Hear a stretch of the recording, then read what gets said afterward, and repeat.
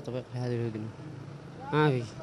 هدنة مع إيقاف التنفيذ. كل الأسلحة استخدمها الانقلابيون في التعبير عن رفضهم الميداني لهدنة سقطت منذ الساعة الأولى. سامع اليمنيون من المبعوث الأممي إلى اليمن نبأ موافقة ميليشيا الحوثي والصالح الانقلابية على هدنة ال 72 ساعة لتضاف إلى خمس هدن فاشلة لكن أي من فريقي الانقلاب لم يصرح بشيء. مظاهر تحدي إرادة المجتمع الدولي تبدو واضحة في هذا التجيش المستمر لما تبقى من الحاضنة العشائرية المنهكة للإنقلابيين. سلوك يتعمده الانقلابيون بغية إفشال أحدث هدنة في مسار الأزمة والحرب التي تشهدهما اليمن.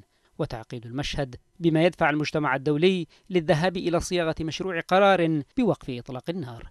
رغبة عبر عنها وزير الخارجية اليمني الأسبق المقرب بن صالح أبو بكر القربي في تغريدات له بموقع التواصل الاجتماعي تويتر وأفصح عنها الناطق العسكري باسم ميليشيا الحوثي وصالح شرف لقمان. لا نريد هدنة نريد وقفا شاملا وكاملا لكن المجتمع الدولي لا يبدو أنه عازم على منح الإنقلابيين مكافأة جراء تماديهم في انتهاك الهدنة الجديدة. هذا على الأقل ما عبر عنه وزير الخارجية الأمريكي جون كيري صاحب مقترح الهدنة الذي شدد على ضرورة أن يلتزم الحوثيون بوقف إطلاق النار بعد أن قالوا إنهم سيدعمونه واعتبر كيري أن أي خرق للهدنة يعرض للخطر إمكانية العودة إلى المحادثات.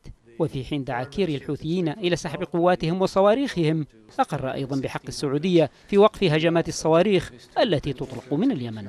كل شيء على حاله في أحد أهم الجبهات سخونة إنها تعز فالقصف لم يتوقف والحرب من طرف واحد هو الطرف الانقلابي. والشرعية بالهدنة ولكن هناك اختراقات من جهة العدو الحوثي والميليشيات الحوثية. بعدة اختراقات من اتجاه اللواء 35 من اتجاه غراب واتجاه تبت الضنين التلاميذ في تعز يذهبون إلى مدارسهم في ظل القصف والأجواء يسودها التوتر ذاته ووحدها صنعاء. نعمت بيوم من الهدوء لأن التحالف هو من أوقف إطلاق النار فيما بقي الانقلابيون على عهدهم من كسر القواعد وإحراز المكاسب في ظل الهدن والمشاورات.